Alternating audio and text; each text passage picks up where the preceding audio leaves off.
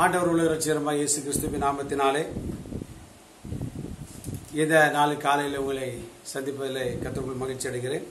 அனுதின கண்மலை தேன் இந்த நிகழ்ச்சி வாயிலாக இந்த நாளிலே உங்களை வாழ்த்துவதிலே நான் கற்றுக்கொள்ள மகிழ்ச்சி அடைகிறேன். இந்த நாளில் நம்முடைய ஆண்டவர் எப்படிப்பட்டவர்? ஒரு வேத வசனத்தை வாசிக்கிறோம். சங்கீதம் இரண்டு எட்டு. என்னை கேளும் அப்பொழுது ஜாதிகளை உமக்கு சுதந்திரமாகவும் பூமியின் எல்லைகளை உமக்கு சொந்தமாகவும் கொடுப்பேன். இருப்புக்கோளால் அவர்களை நொறுக்கி குயக்கலத்தை போல போல போல் அவர்களை உடைத்து போடுவீர் என்று சொன்னார். கதோடு நாம மகிமைப்படுவதாக. இந்த நாளில் நம்முடைய ஆண்டவர் எப்படி நம்ம நாம் கேட்பதை நமக்கு தருகிற தேவன். ஒரு அலையிலே சொல்லுவோமா? ஆமேன் என்று சொல்லுங்க. ஸ்தோத்திரம் இந்த இருபத்தி மூன்றாம் தேதி செவ்வாய்க்கிழமை காலை இந்த கண்மலை தேர் நிகழ்ச்சி வழி உங்களுக்கு சொல்லுகிற தேவனுடைய வார்த்தை என்ன அப்படின்னா நீங்கள் ஆண்டவர்கிட்ட கேட்பதை அவர் தருகிறவர். நீங்கள் ஆண்டவருடைய சமூகத்தில் இதெல்லாம் கேட்கிறீர்களோ அதை இன்றைக்கு கத்த நிச்சயமாய் உங்களுக்கு தருவாராக. ஏன்னா மற்ற ஏழு ஏழுல நம்ம வாசிக்க கேட்கிறோம். ஆண்டவர் இயேசு சொன்னார் கேளுங்கள் அப்பொழுது உங்களுக்கு கொடுக்கப்படும் என்று சொன்னார்.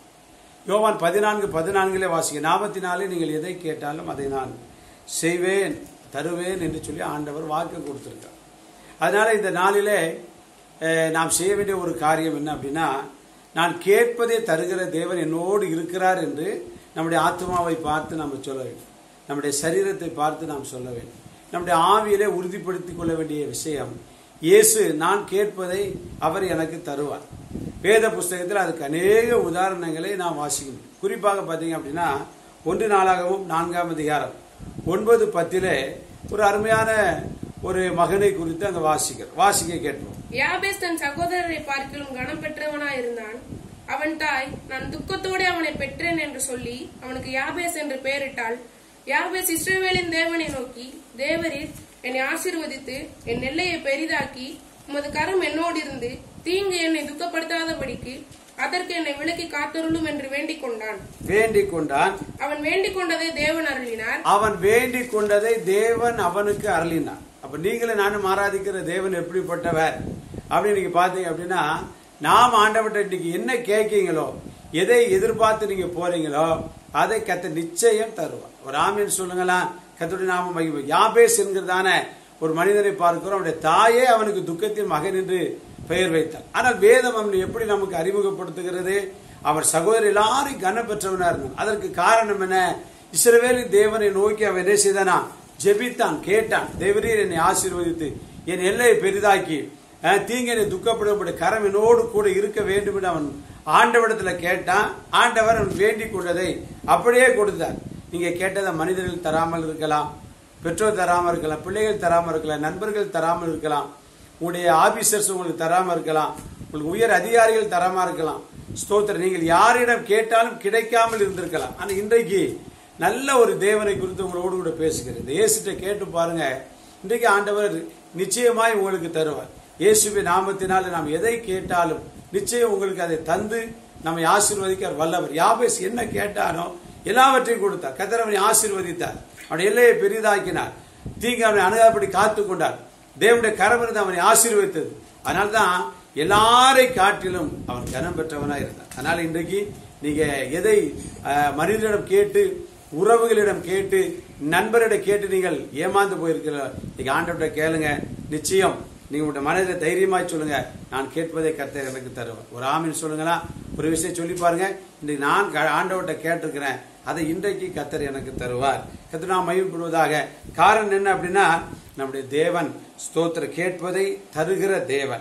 ஸ்தோத்திர காலைப்பை பார்த்து அவருடைய மகள் விதமாய் கேட்டார். நியாயாதிபதிகள் ஒன்றாம் அதிகாரம் பதிமூன்று பதினான்கு பதினைந்துல வாசிக்க வாசிக்க கேட்போம். அப்பொழுது காலேபுடைய தம்பியாக கேனாசின் குமாரன் ஒத்னியல் அதை பிடித்தான். ஆகையால் தன் குமாரத்தியாகிய அக்ஷாலை அவனுக்கு விவாகம் பண்ணி கொடுத்தான். அவள் புறப்படுகையில் என் தகப்பனிடத்தில் ஒரு வயல்வெளியை கேட்க வேண்டும் என்று அவனிடத்தில் உத்தரவு பெற்றுக்கொண்டு கழுதையின் மேலிருந்து இறங்கினாள் காலேப் அவளை நோக்கி உனக்கு என்ன வேண்டும் என்றாள் என்றான். அப்பொழுது அவள் எனக்கு ஒரு ஆசீர்வாதம் தர வேண்டும். எனக்கு ஒரு ஆசீர்வாதம் தர வேண்டும். வறட்சியான நிலத்தை எனக்கு தந்தி வறட்சியான நிலத்தை தந்து நீர்ப்பாய்ச்சலான நீர்ப்பாய்ச்சலான நிலங்களை தர வேண்டும் தர என்றால் அப்பொழுது காலே மேற்புறத்திலும் கீழ்ப்புறத்திலும் அவனுக்கு நீர்ப்பாய்ச்சலான நிலங்களை கொடுத்தான் அப்பொழுது காலை மேற்புறத்தை கீழ்ப்படி நீர்ப்பாய்ச்சலானது. ஒரு தகப்பன் ஸ்தோத்திர தன்னுடைய மகளுக்கு கொடுக்கிற நன்மையை பார்க்கிறோம்.